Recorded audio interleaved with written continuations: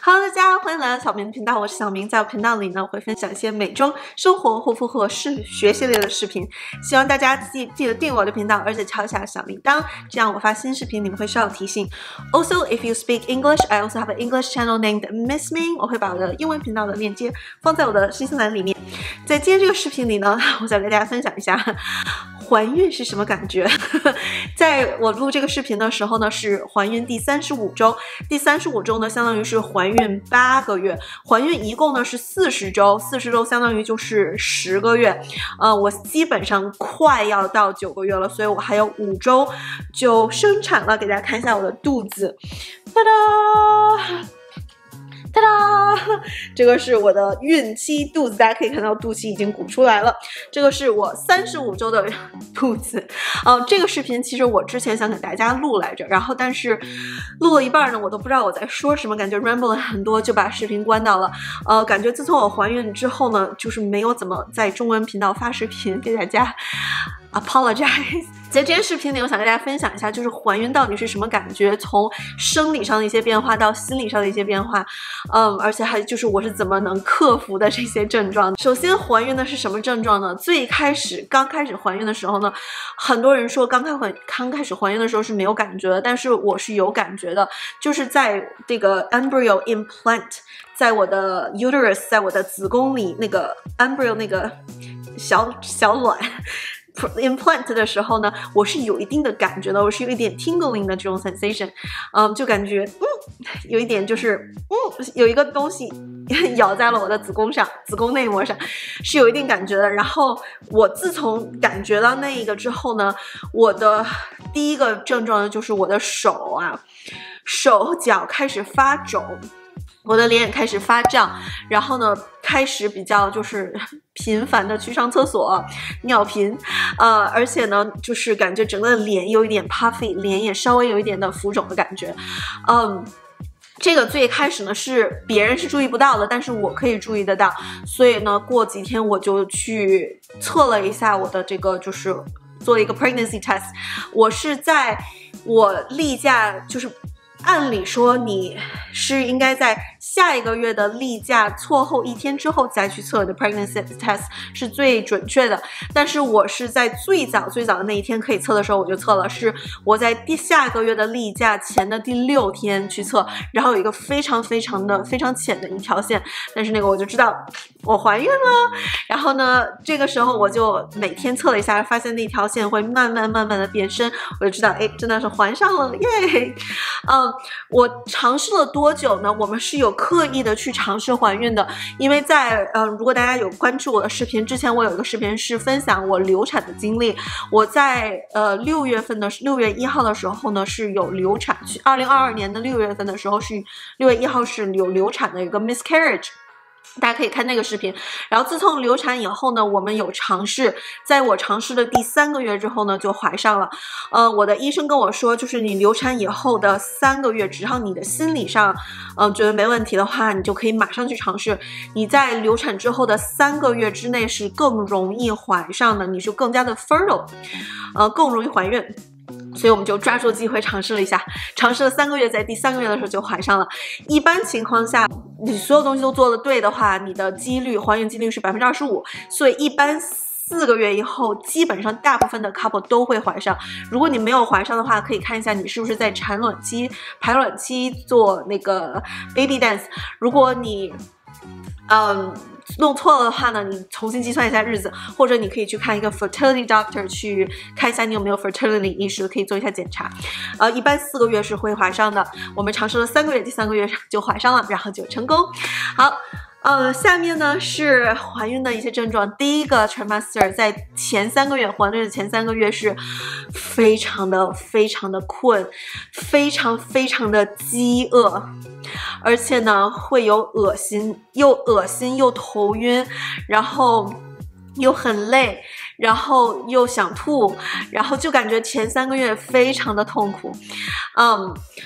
比较比较明显的症状呢，就是第一个非常的饿，我非常非常的饿。一个揣满四十我非常的饥饿。第二个呢，就是不管我吃多少，我还非常的累，而且呢，我还经常头晕、血压低。第三个呢，就是恶心。大家，我到底没有，就是我没有怎么吐吧，但是就是永远的都觉得恶心。你不管干什么，你都觉得有点恶心，但是你又不会觉得想吐，呃。我每次越饿就会觉得越恶心，如果我吃了饭呢，就不会那么的恶心，所以我每空腹的话我会更恶心。嗯，第四个呢就是非常的累，每天都是很想睡觉，嗯，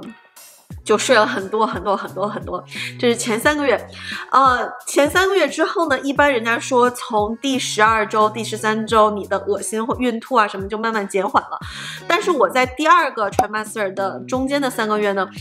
嗯，我还是觉得有点恶心，就是最第二个 trimester 最开始我还是觉得恶有点恶心，然后第二个 trimester 比较明显的一个就是 lower back pain，就是腰痛，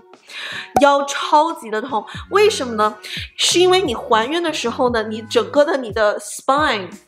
你的 lumbar spine 就是腰的这个地方的这个脊椎呢，会变弯去承去就是承受你的这个肚子，所以这个 lumbar spine 变弯了之后呢，就会那个整个那个重量压在你的 lumbar spine 就会变痛，所以第二个 trimester 最严重的一个 symptom，最严重的一个症状就是后腰痛，痛的不行。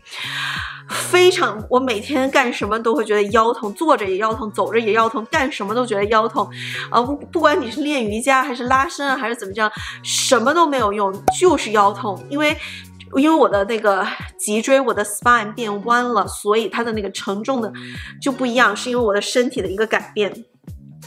呃，慢慢的，终于的，就是在第二个 trimester 二十周以后，我这个恶心慢慢有变好，就是我相当于怀孕二十周以后，就是五个月以后，终于就是我的恶心慢慢的快要没了，但是我的腰痛就越来越严重，然后腰痛最后就变成了 sciatica。我不知道中文怎么说，sciatica 就是你从，因为你这个有一个 herniated disc，然后导致你整个的就是在你的屁股这个地方的这个 sciatica 有个 nerve 就被 pinch 到。所以我从第二个 trimester 开始就是腰痛，再加上 sciatica，这个 sciatica 这个 nerve 会一直窜到你的腿上，有的时候它发作的时候我就不能走路，就是动都动不了，动都动不了，就感觉有点瘫痪的感觉。但是一般都是一边，我一般以最开始是我的右边瘫痪了，然后后来右边好了，结果变成了左边，唉，好。然后，而且在我的第五二十周的时候，就是怀孕五个月的时候呢，我还得了 sinus infection，就是有点上呼吸道的一个感染吧。sinus infection 三个星期，这三个星期每天都流鼻涕、鼻塞，然后就是牙也痛、嗓子也痛、鼻子也痛、头也痛。然后我测了，就是测了所有的病毒都没事儿，就是一个就是 bacterial infected sinus infection，可能就是因为过敏导致的。啊，然后因为 sinus infection 嘛，每天都会打喷嚏。在你第二个 trimester 的时候，你的整个 pel pelvic floor 就会被 relax 掉。这个地方 relax 掉之后呢，你在打喷嚏的时候就会有一个现象，就是 incontinence。incontinence 是什么意思呢？就是你打喷嚏的时候会有 accident，就是所以呢。比较推荐尿不湿啊，就是所以啊，我在第三个 trimester 的时候就买了尿布，因为就是每次一打喷嚏的时候，如果我没有去正好去 pull in 做 Kegel exercise，就会不小心有一个 accident 就要去洗内裤啊，这个是我的非常 honest oversharing，嗯，从第二个 trimester 开始就。非常的痛苦，好，然后慢慢的到二十八周开始第三个 trimester，对，第二个 trimester 还有一个现象是偏头痛，第一个 trimester 就前三个月的时候完全没有偏头痛，中间的三个月之后开始偏头痛，莫名其妙，要不然就是这边，要不然就是这边，然后我的 OBGYN 就给我 prescribe 了一些偏头痛的一些药，呃，基本上 Tylenol 是可以用的，所以。偏头痛哈，第二个 trimester 就是非常的痛苦，偏头痛、尿不湿，呃，lower back pain 腰痛，sciatica，整个这整个这三个月非常痛苦。然后这三个月里的前一个半月吧，我还有恶心，又就是第一个 trimester 那些一些症状还没有消失。第三个 trimester 症状又进来了，整个特别不好。好，现在讲最后的这三个月。呃，第三个 trimester 已经过去两个月了，所以可以给大家讲，第三个 trimester 呢，就是最开始刚进入第三个 trimester 呢，就没有什么偏头痛的感觉了吧？就是感觉偏头痛变好了，稍微偶尔有一点点偏头痛，但是没有第二个 trimester 那么那么频繁。嗯。但是呢，由于肚子越来越大，越来越大，所以呢，我的这个 sciatica 和我的腰痛就变得非常非常的难受。那 sciatica 整个从这个地方就开始往下窜，窜到我的腿上，就是经常就比如说。我走到厕所去上厕所，然后坐在那儿，然后该起的时候起不来了，就是因为左边的这个条腿就麻了，整个就动不了，然后我就只能坐在那儿就起不来了啊！而且我还有继续教瑜伽，有一次我在教瑜伽的时候，我 demonstrate 一个动作，给大家展示一个动作，做完了之后呢，我起不来了，因为就是感觉 sciatica 突然那个 pinch 那个 nerve 啊，就那个神经啊就被压抑到，然后就 动不了了。但是呢，我知道这些都是暂时的，我就。Play it off，没有人注意到，所以呢，非常痛苦的第三个 trimester 就是整个你的肚子非常重，所以你的整个的这个 pelvic floor 的这个地方就感觉非常的沉，你走路呢就是动作就很迟缓，然后我的屁股还痛，我的腰还痛，然后我动。腿还不，整个人的就是 mobility 就被限制了，是一种非常非常非常非常非常不好的感觉。嗯，不过比较好的感觉呢，就是第三个 trimester，你可以每天都有感觉这个你的宝宝在你的肚子里动，然后每次宝宝在你的肚子里动，你会觉得哎呀好开心啊！我的希望就是一切顺利，希望你的宝宝一切平安什么的。所以呢，就是感觉快要熬到头了的感觉。所以呢，就是这个时候终于有盼头了的感觉。所以我觉得最难受的是中间的三个月，因为中间的三个月又有。有恶心，又有 sciatica，又有腰痛，就感觉中间那三个月非常的痛苦。嗯，虽然大部分人都说第二个 trimester 是最好的 trimester，感觉又不累，又怎么又没有很大，但是我觉得第二个 trimester 呢非常的痛苦。哦，还有一个症状是第三个 trimester 最近开始失眠。呃，最近开始失眠的感觉是因为可能是激素有变化，因为你在第三个 trimester 的话，激素是非常不稳定的。你的 body 会开始，呃，开始准备，就是去生育的感觉，所以最近就是第三个 trimester 很难去入睡，有点失眠的症状。嗯，这个失眠症状在前面几个月完全都没有，只是第三个 trimester 开始失眠的，所以就是。这一点有点痛苦，所以呢，怀孕当妈妈真的分的真的真的非常的不容易。第二个比较重要的问题就是我到底长了多少斤？如果大家看了以前的我的视频，就会发现我以前很瘦，而且呢比较健壮。我怀孕之后之后呢，还是继续有锻炼的，但是我真的长了非常非常多斤。呃，我从怀孕到现在一共长了。四十三磅，而且我还有五周啊，所以我可能还会继续长五磅的感觉，我可能会长五十磅，五十磅就相当于是四十五斤 啊。一般人一般人怀孕都会长三十斤的感觉，一般 on average 一般人怀孕是长三十斤，我最后会长到四十五斤。真的长了超级的多的，长了超级多的肉，而且我觉得吧，其实很多这些重量不仅是就是脂肪和宝宝还有什么的，而且很多这些可能是就是水分。因为我从最开始怀孕就开始，突然变得就是非常的 puffy，就是浮肿的感觉。我自从怀孕之后，浮肿非常严重，一般人的话都不会有一种浮肿的感觉。我从第一个 trimester 我去吃饭，然后我那个餐馆的那个老板他认识我，那老板就说你是不是怀孕了？你感觉你整个脸都肿起来了。我说对，我是怀孕了。他说你这脸看起来非常非常肿，一看你就感觉有点怀孕的感觉。我刚开始怀孕的时候，他就觉得很明显，就是我脸就开始肿了，我腿就开始肿了，所以我感觉我我的脸和我的腿很多都是就是水分的感觉，就是有很多的浮肿的一些原因吧。就是有一些人对激素的这个反应比较大，就是可能会浮肿的比较更明显一点。所以呢，嗯，我去 问我的医生，我说，你看，一般你们推荐病人长。三十五磅，就是如果你怀孕之前比较瘦的话，你可以长三十五磅。然后我已经快要长到四十五磅了，你说怎么办呢？然后我的 OB 就说不要担心，因为你以前很瘦，而且他之前做了 pre 呃 screener，就是 gestational diabetes，就看我们有孕期糖尿病，然后看我有没有高血压或者是其他的一些问题。他就说你又没有糖尿病，又没有高血压，又没有任何的症状，你就稍微长一多一点没有关系，因为你孕前很瘦。OK。我希望还原之后这些重量可以 go away。呃，而且我觉得这个怀孕的时候你长多少斤呢？可能有一点点是遗传的原因，因为我问我妈，她怀我的时候长多少斤，她说她怀我的时候长了四十多斤，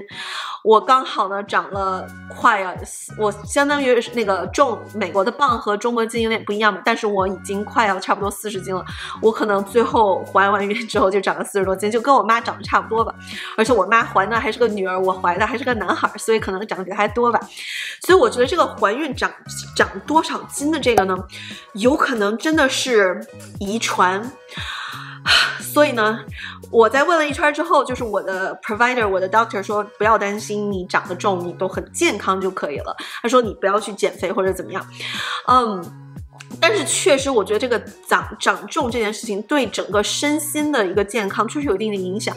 有的时候就是说，在网上，就是大家如果看我的英文视频，就会有人说我就是长胖那么多，然后就会有人说 like why is she like suddenly gain so much weight？而且有一些人就会比较 mean，有些人说，就比如之前我去吃了一个我们当地的 all you can eat 的 Japanese barbecue 和 hapa，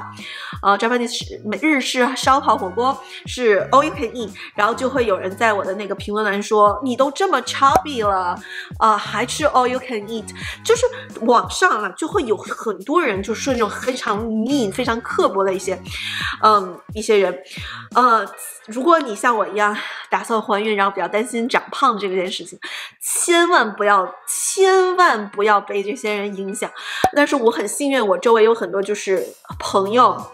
很多 positive energy，他们就说，你虽然有长胖，但是你看你看起来还是很好看啊，你看起来很可爱啊，而且这些东西都是暂时的，你之后呃生了宝宝之后，你就可以 bounce 回来，你还你之前就那么健康，而且你一直有锻炼，就是很容易就会 bounce 回来了，所以千万不要担心啊，就是很多我周围的人会有给我很多的激励，所以对我来说就比较有帮助。千万不要被那些 negative 那些消极的人所影响。医生说你是健康的，不用减肥或者不用去怎么样的话，呃，你就不用去太去担心。如果你的医生说哦，你长得太多了，你的血压有点高，你的呃血糖有点高或者怎么样的话的话，你要就是注意饮食什么的。而且呢，我觉得这个。这个长不长胖这件事情呢，是你完全不可能控制的。我知道听起来感觉感觉是一个借口，但是真的是不能控制的。因为我自从怀孕以来，我一直有坚持的去锻炼。我怀孕之前呢，每周是锻炼六天，然后每天锻炼一到两个小时。自从怀孕以后呢，我有少一点锻炼。我自从怀孕以后呢，我每周是锻炼四到五天，然后每天是锻炼一个小时，所以我稍微有减少一点我的锻炼的一些就是。锻炼一些东西吧，而且以前我每天会走呃一万五千步到两万步，现在我可能每天走就是一万步就够了，我没有去 push 更多的去走路，有的时候我锻炼就不走路，以前是又锻炼，而且呃还会有 take a walk，所以我又稍微的减量去锻炼，但是我还是每天坚持去锻炼，嗯。因为我每天坚持锻炼，所以我的锻炼程度基本上比不一般人要更多一点。而且我除了第一个 trimester，就是在我第一个前三个月怀孕前三个月时候巨饿，那个时候真的吃的比平时要多。但是从第二个 trimester 到现在呢，感觉没有比以前孕期前吃的更多。所以我感觉其实很多时候你的整个这个新陈代谢是跟你的激素的一些有关系的。如果你孕期一些激素呢，就是。促进你长胖的话，是你身体一个自然的一个代谢的过程，就不用去跟它抗拒这样子。只要你的医生说你没事，你就一定要给自己自信心，而且千万不要被那些消极的人所打击掉。知道就是怀孕是非常很辛苦的一件事情，然后你是做了很大的牺牲的，你牺牲了很多，就是你自己的时间，你牺牲了很多自己的健康，然后你牺牲了很多自己的 hobby，然后每天要忍受这么多的怀孕的症状，其实是非常伟大的一件事情。千万不要被那些。网上的那些消极的人去影响，你要带给这个世界正能量。好，最后讲一下，就是怀孕的，就是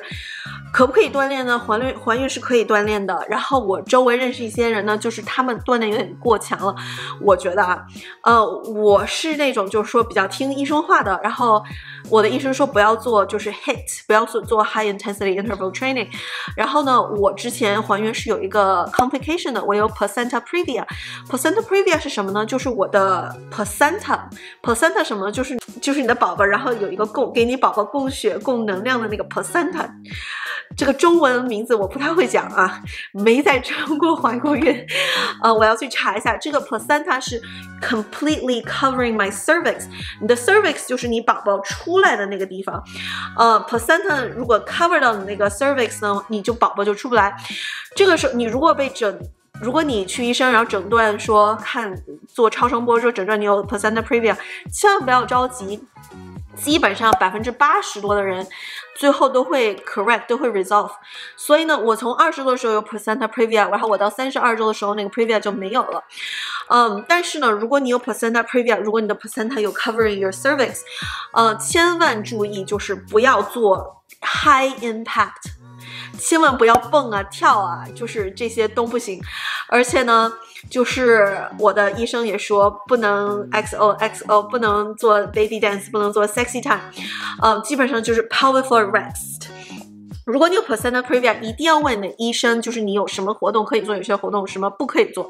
然后呢，我问了医生，我的医生说，如果你就是做一些 bicep curls，或者你走路什么都没事，但是你要蹦啊跳啊，你有可能就是 rupture 你的 placenta，因为的 placenta 整个的你的 body weight 全都在你的 placenta 上面，你的 placenta 就在你的 cervix 这上面，就是会很危险。